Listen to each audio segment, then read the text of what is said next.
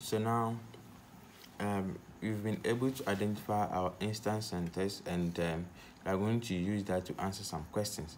So the, the, the question that probably may follow is that if the crank length 2 is 200 millimeters long and rotate at 5 rad per second anti-clockwise, determine the angular velocity of length 3 and length 4. So we used a simple formula omega m on omega n is equal to plus or minus 1 comma n 2 m comma n all on 1 comma m 2 m comma n.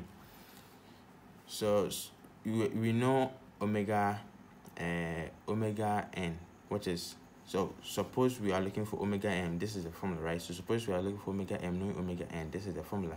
So now you've been given omega 2 and we're looking for 3 and 4 so let's do for the two, 3 first. So omega 3 on omega 2 will be equal to plus or minus 1 comma 2 to what 2 comma 3 all on 1 comma 3 to what 2 comma 3 so if we come to our diagram instant center diagram 1 comma 2 the joint 1 comma 2 is at this point so let me label them 1 comma 2 2 comma 3 3 comma 4 and then what 1 comma 4 right? So 1 comma 2 is here 2 comma 3 is here. So what you're going to do is that you measure from here to here. I mean that that was given in the question as what 200 millimeters. But the point is this 200 millimeters is like a scale a scaled form of this length understand that? So you will measure this length so assuming you measure it and get like say uh, three centimeters then you say that that three centimeters is equal to what? 200 mm right? So from here to here is 200 mm and then you measure from here to here. So suppose you measure from here to here and get like six centimeters then you find the equivalent length in this form. Because like this you measure this you have three centimeters. And are saying that use the condition that this length is 200 millimeters. That means this length has been scaled to 200 millimeters. So what should be the equivalent scaled form of this length? So 6 cm is equal to what? Let's say x right? So we know that from 1 2 to 2 3 is our what? 1 comma n to n comma m you understand that? We just want the length between the joint this joint and what this joint. And the question gave us it was 200 millimeters. Now the 1 comma m to mn we are having 6 centimeters. So you use this condition right? If 3 centimeters equal to 200 millimeters what should this centimeters be because 1 comma n to n comma m is giving you 3 cm where the condition is that make sure uh, assume it is what? 200 mm. So if m 1 comma m to m comma n is 6 cm what should be the equivalent what? Length. So we do this simple math. That's going to be x to be equal to 200 times 6 all on what? 3 and that should give us what? 400 mm. Okay. So we are going to have omega 3 on omega 2 is equal to plus or minus 200 here all on what? 400 i didn't change them to meters because i know they will cancel out. But, right but when you are using the formula v equals omega r you make sure you convert the units to what? Meters. Okay so we now have the ratio. Now the what uh, as to whether we are using the plus or the minus. So for that you check. Uh you see we have 1 comma 2 and 1 comma 3 and 2 comma 3 this is the common point. So the 2 comma 3 or the m comma n right? If it is lying between 1 comma n and 1 comma m we use negative. If it is lying outside 1 comma m and 1 comma n we use what? Positive. So this is 1 comma 3 which is 1 comma m. And this is what? 1 comma what? N. And then m comma n is lying between 1 comma m and what 1 comma n. It's a line between them. So if it is between this and this then we are going to use what? Negative. So you you cancel the positive i mean you go to the next step and make it what? Negative. So omega the omega 2 was 5 rad which was what? Clock counterclockwise and it's going to be positive. So we are going to have omega 3 to be equal to minus 5 times 200 on what 400 and that is going to be 2.5 minus 2.5 rad per second.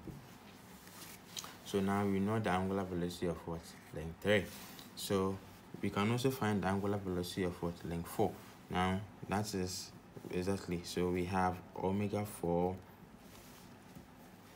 on omega 2 and that should be equal to plus or minus 1 comma 2 to 2 comma 4 all on 1 comma 4 to what 2 comma 4 so that one also we are going to use the same scale. So if 200 millimeter is, is equivalent to the 3 cm here because this this is scaled with this like I've explained earlier. So if 2 millimeters is equal to this then if you come and measure 1 comma 2 to 2 comma 4 what's the value? So if one if from here to here is say um 3.5 centimeters then we are saying that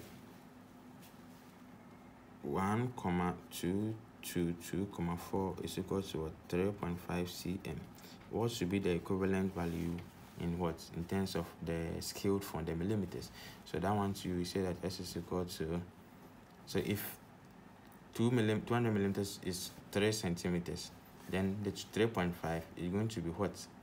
Are you okay? This is simple math. This is simple uh, scaling right?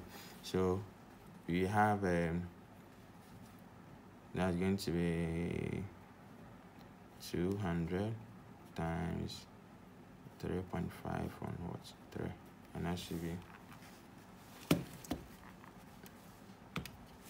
200 times 3.5 on 3 that is what 233.33 right? So we have 233.33 mm okay then you measure from so you now you know one two to what two four. Then you measure one um the next is was one four to what two four. So one four two four. Suppose you measure and we have like 5.5 then we come again. If 2 mm is equivalent to the 3 centimeters what will from here to here be? We said we had 5.5 right? So the x i'm just using as a variable to find my own known that doesn't mean they should be the same.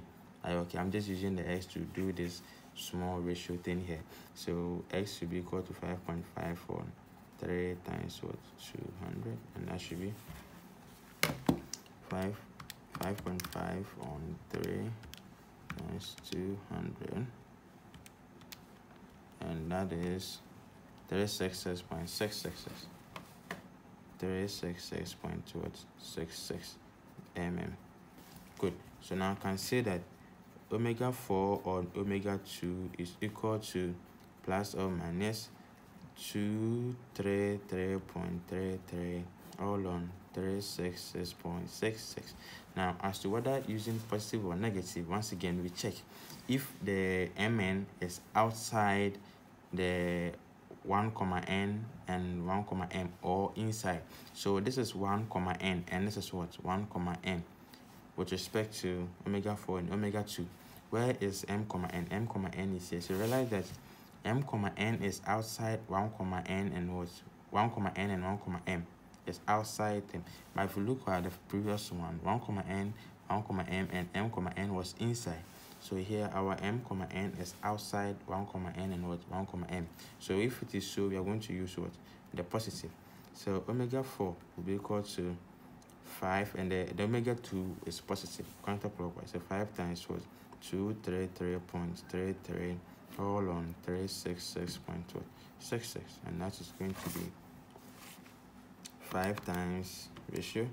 233.33 all on 366.66 and we are getting 3.18 rad per second so this is how you calculate the angular velocity of the various links so we now know the angular velocity of link 2 we know the angular velocity of link 3 and then what? Angular velocity of link 4 thank you for watching